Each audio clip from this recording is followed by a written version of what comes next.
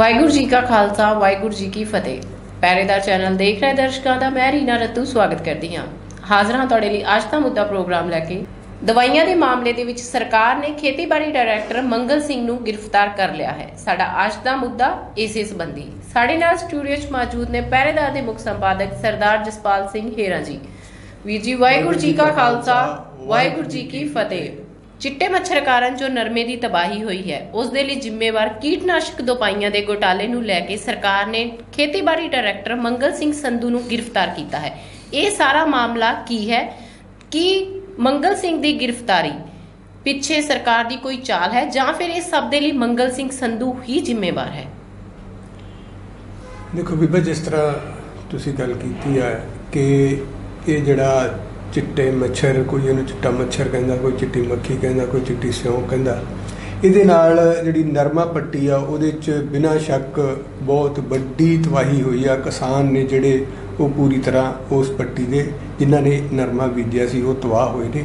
ਤੇ ਉਸ ਤਬਾਹੀ ਦੇ ਪਿੱਛੇ ਉਹ ਜਾਲੀ ਦਵਾਈਆਂ ਜਿਹੜੀਆਂ ਕੀੜੇ ਮਾਰਨ ਵਾਲੀਆਂ ਕਿਸਾਨਾਂ ਨੇ ਛਿੜਕਾਅ ਕੀਤਾ ਜਿਨ੍ਹਾਂ ਦਾ ਕੀੜਾ ਮਾਰਨ ਲਈ ਉਹ ਚਿੱਟੀ ਸਿਉਂਕ ਨੂੰ ਚਿੱਟੇ ਮੱਛਰ ਨੂੰ ਮਾਰਨ ਦੇ ਲਈ। ਉਹ ਕਿਉਂਕਿ ਜਾਲੀ ਸੀ ਉਹਨਾਂ ਨੇ ਕੋਈ ਅਸਰ ਨਹੀਂ ਕੀਤਾ ਤੇ ਉਹ ਚਿੱਟਾ ਮੱਛਰ ਸੀ ਜਿਹੜਾ ਉਹ ਸਾਰੇ ਨਰਮੇ ਦੀ ਫਸਲ ਸੀ ਜਿਹੜੀ ਉਹਨੂੰ ਚਟਮ ਕਰ ਗਿਆ। ਤੇ ਹੁਣ ਜਿਹੜਾ ਮਸਲਾ ਇਸ ਵੇਲੇ ਇਹ ਆ ਕਿ ਉਹ ਜਿਹੜੀਆਂ ਨਕਲੀ ਦਵਾਈਆਂ ਕਿਸਾਨਾਂ ਤੱਕ ਪਹੁੰਚੀਆਂ ਉਹਨਾਂ ਦੇ ਪਿੱਛੇ ਕੀ ਸੀ? ਹਾਂਜੀ। ਸੋ ਜਿਹੜਾ ਮੰਗਲ ਸਿੰਘ ਸੰਧੂ ਜਿਹੜਾ ਖੇਤੀਬਾੜੀ ਵਿਭਾਗ ਦਾ ਡਾਇਰੈਕਟਰ ਆ ਤੇ ਜਿਹੜਾ ਬਾਦਲਾਂ ਦਾ ਖਾਸ ਚਹੇਤਾ ਸੀ। ਜੀ। ਉਹਨੂੰ ਗ੍ਰਿਫਤਾਰ ਵੀ ਕਰ ਲਿਆ ਉਹਨੂੰ ਨੌਕਰੀ ਤੋਂ ਵੀ ਮੁਅੱਤਲ ਕਰਤਾ ਉਹਦੇ ਦੋ ਹੋਰ ਸਾਥੀ ਆ ਜਿਹੜੇ ਜੁਆਇੰਟ ਡਾਇਰੈਕਟਰ ਆ ਉਹਨਾਂ ਨੂੰ ਵੀ ਗ੍ਰਿਫਤਾਰ ਕਰ ਲਿਆ ਤੇ ਵੱਡੇ ਵੱਡੇ ਖੁਲਾਸੇ ਆ ਜਿਹੜੇ ਉਹ ਮੰਗਲ ਸਿੰਘ ਬਾਰੇ ਹੋ ਰਹੇ ਨੇ ਕਿ ਉਹਦੀ ਜਿਹੜੀ ਜਾਇਦਾਦ ਬਾਰੇ। ਕਿ ਉਹਦੀ ਕਿੰਨੀ ਜਾਇਦਾਦ ਆ ਜਿਹੜੀ ਹੁਣੇ ਖੁਲਾਸਾ ਅੱਜ ਹੋਇਆ ਕਿ 1 ਕਰੋੜ ਦੀ ਜਾਇਦਾਦ ਉਹਨੇ ਹਲੇ ਪਿਛਲੇ ਕੁਝ ਦਿਨਾਂ 'ਚ ਹੀ ਖਰੀਦੀ ਆ 6 ਪਲਾਟ ਨੇ ਜਿਹੜੇ ਉਹਦੇ ਕੋਈ ਖਰੜ ਆ ਕੋਈ ਮਹਾਲੀ ਆ ਕੋਈ ਉਹਨੇ ਟਿੱਬੀ ਪਿੰਡ 'ਚ ਜ਼ਮੀਨ ਖਰੀਦੀ ਆ ਜਿਹੜੀ ਤੇ ਉਹਦਾ ਜਿਹੜਾ ਬੈਂਕ ਅਕਾਊਂਟ ਆ ਉਹਦੇ ਬਾਰੇ ਵੀ ਆ ਕਿ ਉਹਦੀ ਘਰਵਾਲੀ ਦੇ ਨਾਂ ਤੇ ਜਿਹੜਾ ਬੈਂਕ ਅਕਾਊਂਟ ਆ, ਉਹਦੇ 'ਚ ਕੋਈ 4.5 ਕਰੋੜ ਰੁਪਏ ਦੀ ਜਿਹੜੀ ਰਾਸ਼ੀ ਆ, ਉਹ ਆ ਤੇ ਉਹ ਤੋਂ ਇਲਾਵਾ ਹਰ ਦੂਜੇ ਤੀਜੇ ਦਿਨ ਉਸ ਅਕਾਊਂਟ 'ਚ 70000 ਰੁਪਇਆ ਆਉਂਦਾ ਜਾਂਦਾ, ਮਤਲਬ ਹਰ ਦੂਜੇ ਤੀਜੇ ਦਿਨ ਏਡੀ ਵੱਡੀ ਰਕਮ ਆ ਜਿਹੜੀ ਉਹ ਆਉਣ ਜਾਣ ਆ ਜਿਹੜਾ ਉਹਦਾ ਬਣਿਆ ਹੋਇਆ। ਇਸੇ ਤਰ੍ਹਾਂ ਜਿਹੜਾ ਮੰਗਲ ਸੰਧੂ ਦਾ ਜਿਹੜਾ ਆਪਣਾ ਅਕਾਊਂਟ ਆ, ਉਹ ਓਬੀਸੀ ਬੈਂਕ ਦੇ ਵਿੱਚ। ਉਹਦੇ ਵਿੱਚ ਵੀ ਇਹ ਜੂਨ ਮਈ, ਜੂਨ ਤੇ ਅਗਸਤ ਤਿੰਨ ਮਹੀਨਿਆਂ ਦੇ ਵਿੱਚ ਬੜੀ ਮੋਟੀ ਜਿਹੜੀ ਰਕਮ ਆ, ਉਹ ਆਈ ਵੀ ਆ ਤੇ ਗਈ ਵੀ ਆ ਜੀ। ਸੋ ਇਹ ਸਾਰਾ ਕੁਝ ਜਿਹੜਾ ਇਸ ਵੇਲੇ ਮਤਲਬ ਜਿਹੜੀ ਪੁਲਿਸ ਦੀ ਥਿਊਰੀ ਚੱਲ ਰਹੀ ਆ ਉਹਨੇ ਸਾਰਾ ਮਾਮਲਾ ਜਿਹੜਾ ਉਹ ਮੰਗਲ ਸਿੰਘ ਹਾਂਜੀ। ਪਰੰਤੂ ਅਸੀਂ ਜਾਣਦੇ ਹਾਂ ਕਿ ਇਹ ਜਿਹੜਾ ਐਡਾ ਵੱਡਾ ਘੁਟਾਲਾ ਹੋਇਆ ਕਿਸਾਨਾਂ ਦੀ ਤਬਾਹੀ ਹੋਈ ਆ ਜਿਸ ਘੁਟਾਲੇ ਦੇ ਨਾਲ ਇਹਦੇ ਲਈ ਕੱਲਾ ਮੰਗਲ ਸਿੰਘ ਆ ਜਿਹੜਾ ਉਹ ਜ਼ਿੰਮੇਵਾਰ ਨਹੀਂ ਹੋ ਸਕਦਾ ਇੱਕ ਵਿਭਾਗ ਦਾ ਅਫਸਰ ਆ ਜਿਹੜਾ ਉਹ ਐਡੀ ਵੱਡੀ ਮਤਲਬ ਅਹ, ਭ੍ਰਿਸ਼ਟਾ ਜਿਹੜਾ ਭ੍ਰਿਸ਼ਟਾਚਾਰ ਦਾ ਘੁਟਾਲਾ ਉਹਦੇ ਲਈ ਕੱਲਾ ਜ਼ਿੰਮੇਵਾਰ ਨਹੀਂ ਹੋ। ਸਕਦਾ ਸੋ ਸ਼ੱਕ ਦੀ ਸੂਈ ਆ ਜਿਹੜੀ ਉਹ ਖੇਤੀਬਾੜੀ ਮੰਤਰੀ ਤੋਤਾ ਸਿੰਘ ਵੱਲ ਵੀ ਘੁੰਮਦੀ ਆ, ਸ਼ੱਕ ਦੀ ਸੂਈ ਆ ਜਿਹੜੀ ਕਿਉਂਕਿ ਉਹ ਬਾਦਲਾਂ ਦਾ ਖਾਸ ਚੇਤਾ ਵਾ, ਖੁਦ ਬਾਦਲਾਂ ਵੱਲ ਵੀ ਘੁੰਮਦੀ ਆ। ਸੋ ਆਉਣ ਵਾਲੇ ਦਿਨਾਂ ਦੇ ਵਿੱਚ ਇਹ ਮਾਮਲਾ ਕਿੱਥੋਂ ਤੱਕ ਪਹੁੰਚਦਾ? ਜਿਸ ਤਰ੍ਹਾਂ ਸੁਖਵੀਰ ਸਿੰਘ ਬਾਦਲ ਨੇ ਤੁਰੰਤ ਤੋਤਾ ਸਿੰਘ ਨੂੰ ਆਪਣਾ ਦਿੱਲੀ ਵੀ ਬੁਲਾਇਆ, ਉੱਥੇ ਵੀ ਗੱਲ ਹੋਈ ਕਿ ਤੋਤਾ ਸਿੰਘ ਦਾ ਅਸਤੀਫਾ ਲਿਆ ਜਾਂਦਾ ਕਿਉਂਕਿ ਵਿਰੋਧੀ ਧਿਰਾਂ ਜਿਹੜੀ, ਉਹ ਚਾਹੇ ਕਾਂਗਰਸ ਆ, ਚਾਹੇ ਆਪ ਆ, ਚਾਹੇ ਹੋਰ ਵਿਰੋਧੀ ਧਿਰਾਂ ਨੇ, ਉਹ ਸਾਰੀਆਂ ਇਸ ਗੱਲ ਤੇ ਅੜੀਆਂ ਹੋਈਆਂ ਨੇ ਕਿ ਤੋਤਾ ਸਿੰਘ ਦਾ ਅਸਤੀਫਾ ਲਿਆ ਜਾਵੇ। ਪਰੰਤੂ ਕਿਉਂਕਿ ਜਿਸ ਤਰ੍ਹਾਂ ਮੈਂ ਗੱਲ ਕੀਤੀ ਆ ਕਿ ਵੱਡੀਆਂ ਵੱਡੇ ਮਗਰਮੱਛ ਨੇ ਜਿਹੜੇ ਉਹਨਾਂ ਦੇ ਵਿੱਚ ਤੋਤਾ ਸਿੰਘ ਵੀ ਸ਼ਾਮਲ ਹੋ ਸਕਦਾ ਤੇ ਸ਼ੱਕ ਦੀ ਸੂਈ ਆ ਜਿਹੜੀ ਉਹ ਖੁਦ ਬਾਦਲਾਂ ਵੱਲ ਵੀ ਮਤਲਬ ਘੁੰਮਦੀ ਆ ਕਿ ਆਖਰ ਨੂੰ ਬਾਦਲਾਂ ਦੀ ਮੁੱਛ ਦਾ ਵਾਲ ਆ ਜਿਹੜਾ ਖੇਤੀਬਾੜੀ ਡਾਇਰੈਕਟਰ ਰਿਹਾ ਵਾ, ਵਿਅਕਤੀ ਜਿਹੜਾ ਹੁਣ ਫਸਿਆ ਹੋਇਆ ਵਾ, ਉਹ ਬਾਦਲਾਂ ਦੀ ਮੁੱਛ ਦਾ ਵਾਲ ਆ, ਉਹਨਾਂ ਤੋਂ ਬਿਨਾ ਉਹ ਸਾਹ ਲੈਣ ਵਾਲਾ ਨਹੀਂ। ਸੋ ਐਡਾ ਵੱਡਾ ਜੇ ਘੁਟਾਲਾ ਹੋਇਆ ਤੇ ਕਿਤੇ ਨਾ ਕਿਤੇ ਉਹ ਬਾਦਲਾਂ ਦੀ ਨਜ਼ਰ ਚੋਂ ਜਾਂ ਬਾਦਲਾਂ ਦੀ ਹਿੱਸੇਪਤੀ ਚੋਂ ਜ਼ਰੂਰ ਲੱਗਿਆ ਹੋਊਗਾ। ਇਸ ਤਰ੍ਹਾਂ ਦੀ ਚਰਚਾ ਜਿਹੜੀ ਉਹ ਆਮ ਚੱਲ ਰਹੀ ਆ। ਤੇ ਦੂਸਰੇ ਪਾਸੇ ਜ- ਜਥੇਦਾਰ ਤੋਤਾ ਸਿੰਘ ਆ ਜਿਹੜਾ ਖੇਤੀਬਾੜੀ ਮੰਤਰੀ ਉਹਦੇ ਬਾਰੇ ਵੀ ਕਿਉਂਕਿ ਉਹਦਾ ਪਿਛਲਾ ਰਿਕਾਰਡ ਆ ਜਿਹੜਾ ਉਹਨੂੰ ਵੇਖਦਿਆਂ ਹੋਇਆਂ ਲੋਕ ਉਹ- ਉਹਦੇ ਬਾਰੇ ਵੀ ਇਹ ਚਰਚਾ ਜਿਹੜੀ ਕਰ ਰਹੇ ਨੇ। ਸੋ ਆਉਣ ਵਾਲੇ ਦਿਨਾਂ ਦੇ ਵਿੱਚ ਕਿਉਂਕਿ ਵੋਟ ਭਰਾ ਜਿਹੜਾ ਉਹ ਇੱਕ ਤਰ੍ਹਾਂ ਸ਼ੁਰੂ ਹੋ ਗਿਆ। ਸੋ ਇਸ ਤਰ੍ਹਾਂ ਦੇ ਜਿਹੜੇ ਘੁਟਾਲੇ ਨੇ ਖਾਸ ਕਰਕੇ ਜਿਹਨੇ ਕਿਸਾਨਾਂ ਨੂੰ ਤਬਾਹ ਕਰਕੇ ਰੱਖ ਦਿੱਤਾ ਇਹਦੀ ਗੂੰਜ ਆ ਜਿਹੜੀ ਮੈਨੂੰ ਲੱਗਦਾ ਕਿ ਇਹ ਛੇਤੀ ਕਿਤੇ ਮੱਠੀ ਨਹੀਂ ਪੈਣੀ। ਇਹ ਕਿੰਨਿਆਂ ਦੀ ਬਲੀ ਲਊਗੀ ਇਹ ਵੀ ਹਾਲੇ ਵੇਖਣ ਵਾਲੀ ਗੱਲ ਹੈ ਸੁਖਵੀਰ ਸਿੰਘ ਬਾਦਲ ਵੱਲੋਂ ਖੇਤੀਬਾੜੀ ਮੰਤਰੀ ਤੋਤਾ ਸਿੰਘ ਨੂੰ ਅਚਾਨਕ ਦਿੱਲੀ ਬੁਲਾ ਲੈਣਾ। ਇਸ ਦੇ ਪਿੱਛੇ ਕੀ ਕਾਰਨ ਹੋ ਸਕਦੇ ਹਨ? ਦੇਖੋ ਵੀ ਜਿਸ ਤਰ੍ਹਾਂ ਆਪਾਂ ਗੱਲ ਕੀਤੀ ਆ ਕਿ ਖੇਤੀਬਾੜੀ ਦਾ ਡਾਇਰੈਕਟਰ ਸੀ ਜਿਹੜਾ ਇਸ ਵੇਲੇ ਜਿਹੜਾ ਹੁਣ ਪੁਲਿਸ ਕਸਟਡੀ 'ਚ ਆ ਪੁਲਿਸ ਹਿਰਾਸਤ 'ਚ ਆ ਮੰਗਲ ਸਿੰਘ ਉਹ ਕਿਉਂਕਿ ਬਾਦਲਾਂ ਦਾ ਖਾਸ ਚੇਤਾ ਸੀ।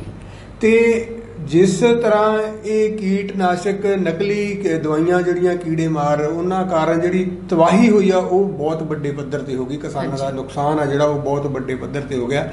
ਸੋ ਉਹਦੀ ਕਿਸਾਨ ਜਿਸ ਜਦੋਜਹਿਦ ਨੂੰ ਲੈ ਕੇ ਸੜਕਾਂ ਤੇ ਆ ਗਏ ਰੇਲਾਂ ਦੀਆਂ ਪਟੜੀਆਂ ਤੇ ਚਲੇ ਗਏ। ਸੋ ਉਸ ਗੱਲ ਨੇ ਸਰਕਾਰ ਨੂੰ ਪੂਰੀ ਤਰ੍ਹਾਂ ਹਿਲਾ ਕੇ ਰੱਖਤਾ। ਜੀ। ਤੇ ਸਰਕਾਰ ਨੇ ਪਹਿਲਾਂ ਪਹਿਲਾਂ ਪ੍ਰਕਾਸ਼ ਸਿੰਘ ਬਾਦਲ ਨੇ ਵਿਧਾਨ ਸਭਾ 'ਚ ਬਿਆਨ ਦਿੱਤਾ ਸੀਗਾ ਕਿ ਇਹਦੇ ਇਹਦੇ ਵਿੱਚ ਖੇਤੀਬਾੜੀ ਵਿਭਾਗ ਦਾ ਜਾਂ ਖੇਤੀਬਾੜੀ ਡਾਇਰੈਕਟਰ ਦਾ ਕੋਈ ਕਸੂਰ ਨਹੀਂ ਉਹਨੇ ਕਲੀਨ ਚਿੱਟ ਦਿੱਤੀ ਸੀ ਪਹਿਲੇ ਦਿਨਾਂ ਦੇ ਵਿੱਚ ਪਰੰਤੂ ਅੱਜ ਉਹੀ ਮਤਲਬ ਡਾਇਰੈਕਟਰ ਆ ਜਿਹੜਾ ਉਹ ਅੱਜ ਪੁਲਿਸ ਦੇ ਸ਼ਿਕੰਜੇ 'ਚ ਬਾਦਲ ਦੇ ਸਾਈਨਾ ਕਰਕੇ ਹੀ ਆ। ਤੇ ਦੂਸਰੇ ਪਾਸੇ ਕਿਉਂਕਿ ਮਾਮਲਾ ਖੇਤੀਬਾੜੀ ਵਿਭਾਗ ਦਾ ਖੇਤੀਬਾੜੀ ਵਿਭਾਗ ਦਾ ਮੰਤਰੀ ਆ ਕਿਉਂਕਿ ਉਹ ਫਾਈਲ ਜਿਹਦੇ ਵਿੱਚ ਇਹ ਕੀੜੇ ਮਾਰ ਦਵਾਈਆਂ ਨੇ ਜਿਹੜੀਆਂ 33 ਕਰੋੜ ਦੀਆਂ ਕੀੜੇ ਮਾਰ ਦਵਾਈਆਂ ਜਿਹੜੀਆਂ ਨਕਲੀ ਕੀੜੇ ਮਾਰ ਦਵਾਈਆਂ ਜਿਹੜਾ ਕਾਰਨ ਬਣੀਆਂ ਨੇ ਕਿਸਾਨਾਂ ਦੀ ਤਬਾਹੀ ਦਾ ਜਿਸ ਫਾਈਲ ਨੇ ਉਹਨਾਂ ਨੂੰ ਖਰੀਦਣ ਦੀ ਆਗਿਆ ਦਿੱਤੀ ਉਹ ਇੰਨੀ ਤੇਜ਼ੀ ਦੇ ਨਾਲ ਪਾਸ ਹੋਈ ਸਿਰਫ 3-4 ਦਿਨਾਂ ਦੇ ਵਿੱਚ ਕਿੰਨੇ ਵਿਭਾਗਾਂ ਦੇ ਵਿੱਚੋਂ ਕਿੰਨੇ ਸਟੈਪ ਜਿਹੜੇ ਉਹ ਲੰਘ ਕੇ ਤੇ 3-4 ਦਿਨ ਦੇ ਵਿੱਚ ਪਾਸ ਹੋ ਕੇ ਉਹ ਜਿਹੜੀਆਂ ਬਿਨਾਂ ਟੈਂਡਰ ਤੋਂ ਦਵਾਈਆਂ ਸੀ ਜਿਹੜੀਆਂ ਉਹ ਖਰੀਦੀਆਂ ਗਈਆਂ। ਸੋ ਇਹ ਸਾਰਾ ਕੁਝ ਅਹ, ਬਿਲਕੁਲ ਸਾਫ਼ ਕਰਦਾ ਕਿ ਇਸ ਅਹ, ਘਪਲੇ ਘੁਟਾਲੇ ਦੇ ਪਿੱਛੇ ਜਿਹੜਾ ਹੱਥ ਹੈ ਉਹ ਵੱਡੇ ਪਰਿਵਾਰ ਦਾ ਵਾ ਵੱਡੀ ਧਿਰ ਦਾ ਵਾ ਤੇ ਉਹ ਆਉਣ ਵਾਲੇ ਦਿਨਾਂ ਦੇ ਵਿੱਚ ਗੱਲ ਜਿਵੇਂ ਮੈਂ ਗੱਲ ਕੀਤੀ ਆ ਕਿ ਹਾਲੇ ਸਾਫ਼ ਹੋਣੀ ਬਾਕੀ ਆ। ਪਰੰਤੂ ਜਿਹੜੀ ਗੱਲ ਸਵਾਲ ਤੁਸੀਂ ਪੁੱਛਿਆ ਕਿ ਆਖਰ ਨੂੰ ਸੁਖਵੀਰ ਸਿੰਘ ਬਾਦਲ ਨੂੰ ਤੋਤਾ ਸਿੰਘ ਨੂੰ ਇੰਨੀ ਕਾਲੀ ਚ ਦਿੱਲੀ ਬੁਲਾਉਣ ਦੀ ਕੀ ਲੋੜ ਪੈ ਗਈ? ਮੰਗਲ ਸਿੰਘ ਨੂੰ ਗ੍ਰਿਫਤਾਰ ਕੀਤਾ ਨਾਲ ਦੀ ਨਾਲ ਤੋਤਾ ਸਿੰਘ ਨੂੰ ਦਿੱਲੀ ਬੁਲਾ ਲਿਆ। ਪਰੰਤੂ ਤੋਤਾ ਸਿੰਘ ਨੂੰ ਦਿੱਲੀ ਬੁਲਾ ਕੇ ਕੀ ਕੀਤਾ ਗਿਆ? ਉਹ ਹਾਲੇ ਤੱਕ ਕਲੀਅਰ ਨਹੀਂ ਹੋਇਆ। ਦੋ ਦਿਨ ਲੰਘ ਗਏ ਨੇ। ਉਸ ਤੋਂ ਬਾਅਦ ਕਿਉਂਕਿ ਤੋਤਾ ਸਿੰਘ ਵਿਰੁੱਧ ਕੀ ਐਕਸ਼ਨ ਆ? ਸਰਕਾਰ ਵੱਲੋਂ, ਬਾਦਲ ਵੱਲੋਂ ਜਾਂ ਤੋਤਾ ਸਿੰਘ ਨੂੰ ਕਲੀਨ ਚਿੱਟ ਦਿੱਤੀ ਜਾਂਦੀ ਹੈ? ਕਿਉਂਕਿ ਵਿਭਾਗ ਵੱਲੋਂ ਕਲੀਨ ਚਿੱਟ ਦਵਾਈ ਗਈ ਆ। ਪਰੰਤੂ ਕਿਉਂਕਿ ਮਾਮਲਾ ਇੰਨਾ ਭਖ ਚੁੱਕਾ ਵਾ ਕਿ ਬਾਦਲ ਇਹ ਚਾਹਣਗੇ ਕਿ ਆਖਰ ਨੂੰ ਤੋਤਾ ਸਿੰਘ ਦੀ ਬਲੀ ਦੇ ਕੇ ਜੇ ਉਹਨਾਂ ਦਾ ਮਤਲਬ ਇਸ ਗੱਲ ਵੱਲੋਂ ਉਹਨਾਂ ਦਾ ਖਹਿੜਾ ਛੁੱਟਦਾ ਤੇ ਉਹ ਮੈਨੂੰ ਨਹੀਂ ਲੱਗਦਾ ਕਿ ਗਰੇਜ ਕਰਨਗੇ। ਸੋ ਇਹ ਭਾਵੇਂ ਕਿ ਹਾਲੇ ਇਹ ਗੱਲ ਕਲੀਅਰ ਹੋਣੀ ਬਾਕੀ ਆ ਕਿ ਬਾਦਲ ਨੇ ਜਿਹੜੇ ਇਸ ਗੱਲ ਨੂੰ ਕਿਸ ਤਰ੍ਹਾਂ ਆਪਣੇ ਗਲੋਂ ਲਾਉਂਦੇ ਨੇ ਕਿਉਂਕਿ ਮਾਮਲਾ ਜਿਹੜਾ ਇਸ ਵੇਲੇ ਇਹ ਕਿਸਾਨ ਅੰਦੋਲਨ ਆ ਜਿਹੜਾ ਉਹ ਐਡੀ ਵੱਡੀ ਪੱਧਰ ਤੇ ਫੈਲ ਗਿਆ ਕਿ ਉਸ ਕਿਸਾਨ ਅੰਦੋਲਨ ਤੋਂ ਖਹਿੜਾ ਛੁਡਾਉਣਾ ਇਸ ਵੇਲੇ ਬਾਦਲਾਂ ਨੂੰ ਬੜਾ ਔਖਾ। ਜਿਹੜੀ ਆਪਾਂ ਪਹਿਲਾਂ ਗੱਲ ਕੀਤੀ ਆ। ਇੱਕ ਪਾਸੇ ਸਿੱਖ ਮੁੱਦਾ ਤੇ ਦੂਸਰੇ ਪਾਸੇ ਕਿਸਾਨ ਮੁੱਦਾ। ਸੋ ਮਾਲਵਾ ਬੈਲਟ ਆ ਜਿਹੜੀ ਉਹ ਅਸੀਂ ਪਹਿਲਾਂ ਵੀ ਗੱਲ ਕੀਤੀ ਆ ਕਿ ਬਾਦਲਾਂ ਨੂੰ ਜਿਤਾਉਣ ਵਾਲੀ ਅਕਾਲੀਆਂ ਨੂੰ ਜਿਤਾਉਣ ਵਾਲੀ ਆ ਪਰੰਤੂ ਅੱਜ ਉਸ ਮਾਲਵਾ ਬੈਲਟ 'ਚ ਕਿਸਾਨ ਵੀ ਬਾਦਲਾਂ ਤੋਂ ਔਖੇ ਨੇ ਤੇ ਸਿੱਖ ਵੀ ਬਾਦਲਾਂ ਤੋਂ ਔਖੇ ਨੇ। ਸੋ ਇਹ ਜਿਹੜੀ ਬਾਦਲਾਂ ਲਈ ਬੜੀ ਵੱਡੀ ਸਮੱਸਿਆ ਖੜੀ ਹੋਈ ਆ ਤੇ ਇਹਦਾ ਉਹ ਕਿਸ ਤਰ੍ਹਾਂ ਸਾਹਮਣਾ ਕਰਦੇ ਨੇ, ਕਿਹਨੂੰ ਕਿਹਨੂੰ ਬਲੀ ਦਾ ਬੱਕਰਾ ਬਣਾ ਕੇ ਆਪਣੇ ਆਪ ਨੂੰ ਸੁਰੱਖਿਅਤ ਕਰਦੇ ਨੇ, ਇਹ ਵੇਖਣ ਵਾਲੀ ਗੱਲ ਹੈ ਇਸ ਤੋਂ ਪਹਿਲਾਂ ਮੁੱਖ ਮੰਤਰੀ ਪ੍ਰਕਾਸ਼ ਸਿੰਘ ਬਾਦਲ ਨੇ ਖੇਤੀਬਾੜੀ ਵਿਭਾਗ ਨੂੰ ਕਲੀਨ ਚਿੱਟ ਦੇ ਦਿੱਤੀ ਸੀ। ਬਾਦਲ ਸਾਹਿਬ ਉਦੋਂ ਸਹੀ ਸੀ ਜਾਂ ਹੁਣ? ਦੂਸਰੇ ਪਾਸੇ ਬਾਦਲ ਪਰਿਵਾਰ ਦੀ ਮੰਗਲ ਸਿੰਘ ਸੰਧੂ ਦੇ ਪਰਿਵਾਰ ਦੇ ਨਾਲ ਕਾਫੀ ਨੇੜਤਾ ਰਹੀ ਹੈ। ਇਹਨਾਂ ਦੋਨਾਂ ਗੱਲਾਂ ਨੂੰ ਰਲਗਟ ਕਰਕੇ ਤੁਸੀਂ ਕੀ ਕਹਿਣਾ ਚਾਹੁੰਦੇ ਹੋ? ਦੇਖੋ ਮੈਂ ਜਿਹੜੀ ਗੱਲ ਮੈਂ ਪਹਿਲਾਂ ਵੀ ਕੀਤੀ ਹੈ ਕਿ ਆਖਰ ਨੂੰ ਮੁੱਖ ਮੰਤਰੀ ਪ੍ਰਕਾਸ਼ ਸਿੰਘ ਬਾਦਲ ਨੇ ਖੇਤੀਬਾੜੀ ਵਿਭਾਗ ਨੂੰ ਕਲੀਨ ਚਿੱਟ ਪੰਜਾਬ ਵਿਧਾਨ ਸਭਾ ਦੇ ਅਜਲਾਸ 'ਚ ਦਿੱਤੀ ਆ। ਹਾਂਜੀ। ਸੋ ਜਿਹੜੀ ਗੱਲ ਤੁਸੀਂ ਕੀਤੀ ਹੈ ਕਿ ਅੱਜ ਉਹੀ ਪ੍ਰਕਾਸ਼ ਸਿੰਘ ਬਾਦਲ ਆ ਜਿਹੜਾ ਉਹ ਸੰਧੂ ਵਿਰੁੱਧ ਜਿਹੜੀ ਜਾਂਚ ਆ ਉਸ ਦੇ ਲਈ ਸਾਈਨ ਕਰਦਾ ਵਾ ਉਹਦੀ ਗ੍ਰਿਫਤਾਰੀ ਲਈ ਆਗਿਆ ਦਿੰਦਾ ਸੋ ਇਹ ਜਿਹੜਾ ਸਾਰਾ ਕੁਝ ਅਸੀਂ ਗੱਲ ਕਰਦੇ ਆ ਕਿ ਆਖਰ ਨੂੰ ਜਦੋਂ ਕਿਸਾਨ ਅੰਦੋਲਨ ਦਾ ਦਬਾਅ ਵਧਿਆ।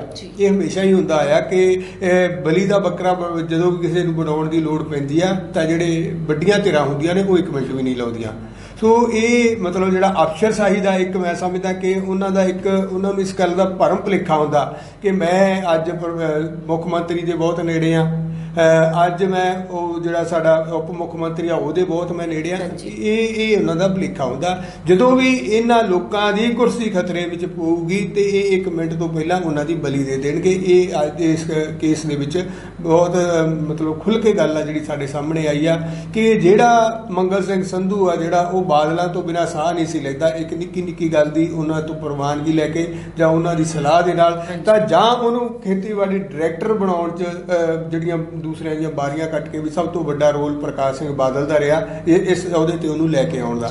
ਸੋ ਉਸ ਵਿਅਕਤੀ ਵੱਲੋਂ ਜੋ ਕੁਝ ਕੀਤਾ ਗਿਆ ਪਹਿਲਾਂ ਉਹਨੂੰ ਕਲੀਨ ਚਿੱਟ ਦੇਣੀ ਤੇ ਅੱਜ ਉਹ ਉਹਨੂੰ ਮਤਲਬ ਇਸ ਤਰ੍ਹਾਂ ਸਾਰਾ ਜਿਹੜਾ ਘੁਟਾਲਾ ਵਾ ਉਹਦੇ ਸਿਰ ਪਾ ਦੇਣਾ। ਸੋ ਇਹ ਮੈਂ ਜਿਵੇਂ ਗੱਲ ਕੀਤੀ ਆ ਕਿ ਇਹਨਾਂ ਨੇ ਹਮੇਸ਼ਾ ਜਦੋਂ ਇਹਨਾਂ ਨੂੰ ਆਪਣਾ ਖਤਰੇ ਵਿੱਚ ਦਿਖਾਈ ਦਿੰਦਾ ਆਪਣੀ ਗੱਦੀ ਖਤਰੇ 'ਚ ਦਿਖਾਈ ਦਿੰਦੀ ਆ ਤੇ ਇਹ ਬਲੀ ਦੇਣ ਲੱਗੇ ਇੱਕ ਮਿੰਟ ਨਹੀਂ ਲਾਉਂਦੇ ਸੋ ਇਹ ਇਸ ਮਸਲੇ ਦੀ ਗੱਲ ਆ ਦੂਸਰੀ ਗੱਲ ਇਹ ਜਿਹੜੀ ਤੁਸੀਂ ਕੀਤੀ ਆ ਕਿ ਦੋਨਾਂ ਪਰਿਵਾਰਾਂ ਦੀ ਜਿਹੜੀ ਬਾਦਲਾਂ ਦੀ ਤੇ ਮੰਗਲ ਸੰਧੂ ਦੀ ਨੇੜਤਾ ਕਿਉਂਕਿ ਉਹ ਗੱਲ ਸਾਡੇ ਸਾਹਮਣੇ ਆ ਚੁੱਕੀ ਆ ਕਿ ਚੋਣਾਂ ਦੇ ਵਿੱਚ ਕਿਸੇ ਵੇਲੇ ਇਸ ਪੂਰਾ ਪਿੰਡ ਸੀ ਜਿਹੜਾ ਮੰਗਲ ਸਿੰਘ ਸੰਧੂ ਦਾ ਉਹ ਪੂਰਾ ਪਿੰਡ ਆ ਜਿਹੜਾ ਉਹ ਬਾਦਲਾਂ ਦੇ ਵਿਰੁੱਧ ਸੀ। ਕਿਉਂਕਿ ਉਸ ਪਿੰਡ ਦਾ ਵਿਅਕਤੀ ਸੀ ਜਿਹੜਾ ਉਹ ਬਾਦਲਾਂ ਦੇ ਵਿਰੁੱਧ ਇਲੈਕਸ਼ਨ ਲੜ ਰਿਹਾ ਸੀ ਤੇ ਇੱਕੋ ਇੱਕ ਇਹ ਪਰਿਵਾਰ ਸੀ ਜਿਹੜਾ ਬਾਦਲਾਂ ਦੇ ਨਾਲ ਖੜਾ ਸੀ। ਹਾਂਜੀ। ਸੋ ਉਸ ਸਮੇਂ ਤੋਂ ਲੈ ਕੇ ਅੱਜ ਤੱਕ ਬਾਦਲ ਪਰਿਵਾਰ ਆ ਜਿਹੜਾ ਇਸ ਪਰਿਵਾਰ ਦੇ ਇਹ ਕਾਫੀ ਨੇੜੇ ਰਿਹਾ।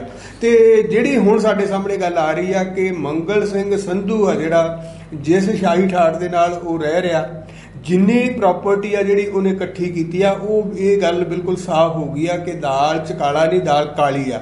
ਹੁਣ ਸਿਰਫ ਦੇਖਣ ਵਾਲੀ ਇਹ ਗੱਲ ਆ ਕਿ ਇਹ ਕਾਲੀ ਦਾਲ ਦੇ ਵਿੱਚ ਹਿੱਸੇਦਾਰ ਕੌਣ ਕੌਣ ਕੌਣ ਨੇ? ਇਹ ਗੱਲ ਸਾਫ਼ ਹੋਣੀ ਬਾਕੀ ਆ ਪਰੰਤੂ ਇਹ ਗੱਲ ਬਿਲਕੁਲ ਸਾਫ਼ ਹੋ ਗਈ ਆ ਕਿ ਦਾਲ ਪੂਰੀ ਤਰ੍ਹਾਂ ਕਾਲੀ ਆ। ਸੋ ਇਹ ਭਾਵੇਂ ਕਿ ਜਾਂਚ ਆ ਜਿਹੜੀ ਉਹ ਆਉਣ ਵਾਲੇ ਦਿਨਾਂ ਦੇ ਵਿੱਚ ਕਿਸ ਪਾਸੇ ਜਾਊਗੀ ਤੇ ਕੀ ਨਤੀਜੇ ਲੈ ਕੇ ਆਊਗੀ ਇਹ ਵੀ ਹਾਲੇ ਵੇਖਣ ਵਾਲੀ ਗੱਲ ਆ। ਪਰੰਤੂ ਇੱਕ ਗੱਲ ਬਿਲਕੁਲ ਸਾਫ਼ ਤੇ ਸਪਸ਼ਟ ਹੋ ਗਈ ਆ ਕਿ ਉਹ ਪ੍ਰੈਸਟ ਅਫਸਰਸ਼ਾਹੀ ਜਿਹੜੀ ਪ੍ਰੈਸਟ ਆਗੂਆਂ ਦਾ ਸਹਾਰਾ ਤੱਕਦੀ ਆ ਉਹਨੂੰ ਇਹ ਗੱਲ ਸਮਝ ਲੈਣੀ ਚਾਹੀਦੀ ਆ ਕਿ ਇਹ ਸਹਾਰਾ ਤਿਣਕੇ ਵਾਲਾ ਸਹਾਰਾ ਵਾ। ਹਮ ਤੋਂ ਡੁੱਬेंगे ਸਮ ਤੁਮਕੋ ਵੀ ਲੈ ਡੁੱਬेंगे ਇਹ ਇਸ ਗੱਲ ਨੂੰ ਉਹਨਾਂ ਨੂੰ ਧਿਆਨ ਵਿੱਚ ਰੱਖਣਾ ਚਾਹੀਦਾ ਕਿ ਇਹ ਪਾਪ ਦੀ ਪੰਡ ਆ ਜਿਹੜੀ ਜਦੋਂ ਵੀ ਭਾਰੀ ਹੋ ਜਾਂਦੀ ਆ ਉਹਨੇ ਡੁੱਬਣਾ ਹੀ ਡੁੱਬਣਾ। ਨਕਲੀ ਦਵਾਈਆਂ ਚਾਹੇ ਉਹ ਮਨੁੱਖੀ ਵਰਤੋਂ ਲਈ ਹੋਣ ਚਾਹੇ ਫਸਲਾਂ ਦੇ ਲਈ ਬਹੁਤ ਖਤਰਨਾਕ ਸਾਬਤ ਹੋ ਰਹੀਆਂ ਹਨ। ਪਰੰਤੂ ਸਰਕਾਰ ਵੱਲੋਂ ਅੱਜ ਤੱਕ ਕਦੇ ਕੋਈ ਅਜਿਹਾ ਕਦਮ ਨਹੀਂ ਉਠਾਇਆ ਗਿਆ ਕਿ ਨਕਲੀ ਦਵਾਈਆਂ ਦੀ ਵਰਤੋਂ ਤੇ ਰੋਕ ਲਗਾਈ ਜਾ ਸਕੇ। ਦੇਖੋ ਵੀ ਗੱਲ ਤਾਂ ਇਹ ਆ ਕਿ ਸਾਡੇ ਦੇਸ਼ ਦਾ ਜਿਹੜਾ ਪੂਰਾ ਤੰਤਰ ਆ ਉਹ ਪੂਰੀ ਤਰ੍ਹਾਂ ਪ੍ਰੈਸਟ ਆ। ਹਾਂਜੀ। ਸੋ ਜਿਹੜਾ ਭ੍ਰਿਸ਼ਟ ਤੰਤਰ ਆ ਉੱਥੇ ਪੈਸੇ ਦੇ ਜ਼ੋਰ ਤੇ ਤੁਸੀਂ ਜੋ ਕੁਝ ਮਰਜ਼ੀ ਆ ਉਹ ਕਰਵਾਈ ਜਾਓ। ਸੋ ਨਕਲੀ ਦਵਾਈਆਂ ਨੇ ਜਿਵੇਂ ਤੁਸੀਂ ਗੱਲ ਕੀਤੀ ਆ ਕਿ ਚਾਹੇ ਉਹ ਮਨੁੱਖਾਂ ਲਈ ਨੇ ਤੇ ਚਾਹੇ ਉਹ ਫਸਲਾਂ ਲਈ ਨੇ ਤੇ ਚਾਹੇ ਉਹ ਡੰਗਰਾਂ ਲਈ ਨੇ, ਉਹ ਸਾਰੀਆਂ ਹੀ ਖਤਰਨਾਕ ਨੇ, ਸਾਰੀਆਂ ਹੀ ਮਤਲਬ ਜ਼ਿੰਦਗੀ ਨੂੰ ਤਬਾਹੀ ਵੱਲ ਲੈ ਕੇ ਜਾਂਦੀਆਂ ਨੇ। ਮਨੁੱਖਾ ਜਿਹੜਾ ਉਹਦਾ ਜੀਵਨ ਨੂੰ ਮੌਤ ਵੱਲ ਲੈ ਕੇ ਜਾਂਦੀਆਂ ਨੇ। ਆ ਫਸਲਾਂ ਦੀ ਗੱਲ ਅਸੀਂ ਕਰਦੇ ਹਾਂ ਕਿ ਨਰਮਾ ਮਾ ਜਿਹੜਾ ਉਹ ਪੂਰੀ ਤਰ੍ਹਾਂ ਤਬਾਹ ਹੋ ਗਿਆ ਕਿ ਦਵਾਈਆਂ ਨਕਲੀ ਸੀ। ਸੋ ਇਸੇ ਤਰ੍ਹਾਂ ਇਹ ਅਸੀਂ ਡੰਗਰਾਂ ਵਾਲੇ ਪਾਸੇ ਵੀ ਗੱਲ ਕਰ ਸਕਦੇ ਹਾਂ ਕਿ ਜਦੋਂ ਡੰਗਰ ਆ ਜਿਹੜੇ ਉਹਨਾਂ ਨੂੰ ਕੋਈ ਬਿਮਾਰੀ ਚੁੰਬੜਦੀ ਆ ਤੇ ਉਹਨਾਂ ਨੂੰ ਜੇ ਅਸੀਂ ਨਕਲੀ ਦਵਾਈਆਂ ਦਈਏ ਤੇ ਉਹ ਵੀ ਮੌਤ ਵੱਲ ਜਾਂਦੇ ਨੇ।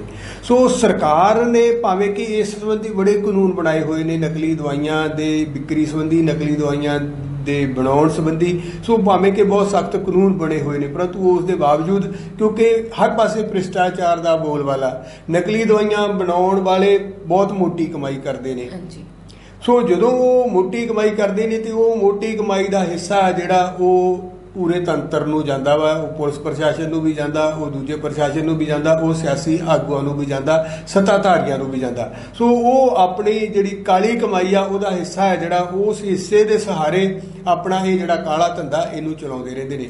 ਜਦੋਂ ਤੱਕ ਸਾਡੇ ਦੇਸ਼ ਵਿੱਚ ਇਮਾਨਦਾਰੀ ਨਹੀਂ ਆਉਂਦੀ ਭਾਵੇਂ ਕਿ ਕਾਨੂੰਨ ਬਣੇ ਹੋਏ ਨੇ ਨਕਲੀ ਦਵਾਈਆਂ ਦੇ ਵਿਰੁੱਧ ਕਾਨੂੰਨ ਬਣਿਆ ਹੋਇਆ ਸਖਤ ਕਾਨੂੰਨ ਬਣਿਆ ਹੋਇਆ ਉਹ ਉਸ ਦੇ ਬਾਵਜੂਦ ਮਤਲਬ ਇਹ ਧੰਦਾ ਜਿਹੜਾ ਲਗਾਤਾਰ ਨਿਰੰਤਰ ਫਲ ਫੁੱਲ ਰਿਹਾ ਵਾ ਸੋ ਉਹਦੇ ਪਿੱਛੇ ਕਾਰਨ ਇਹੀ ਆ ਕਿ ਭ੍ਰਿਸ਼ਟਾਚਾਰ ਦਾ ਬੋਲਬਾਲਾ ਜਦੋਂ ਤੱਕ ਇਸ ਦੇਸ਼ ਦੇ ਵਿੱਚੋਂ ਭ੍ਰਿਸ਼ਟਾਚਾਰ ਆ ਜਿਹੜਾ ਭ੍ਰਿਸ਼ਟ ਤੰਤਰ ਆ ਜਿਹੜਾ ਉਹ ਖਤਮ ਨਹੀਂ ਕੀਤਾ ਜਾਂਦਾ ਉਦੋਂ ਤੱਕ ਕਾਲੇ ਧੰਦੇ ਨੇ ਜਿਹੜੇ ਇਹਨਾਂ ਤੇ ਰੋਕ ਨਹੀਂ ਲਾਈ ਜਾ ਸਕਦੀ। ਸੋ ਅਸੀਂ ਸਿਰਫ ਇਹ ਗੱਲ ਕਹਿਣਾ ਚਾਹੁੰਦੇ ਹਾਂ ਕਿ ਮੰਦੇ ਕੰਮੀ ਨਾਨਕਾ ਜਦ ਕਦ ਮੰਦਾ ਹੋਏ। ਸੋ ਇਹ ਸੀ ਸਾਡਾ ਅੱਜ ਦਾ ਮੁੱਦਾ ਪ੍ਰੋਗਰਾਮ। ਕੱਲ ਨਵੇਂ ਮੁੱਦੇ ਦੇ ਨਾਲ ਤੁਹਾਡੇ ਲਈ ਫੇਰ ਹਾਜ਼ਰ ਹੋਵਾਂਗੇ। ਸਾਨੂੰ ਦਿਓ ਇਜਾਜ਼ਤ। ਵਾਹਿਗੁਰੂ ਜੀ ਕਾ ਖਾਲਸਾ ਵਾਹਿਗੁਰੂ ਜੀ ਕੀ ਫਤਿਹ।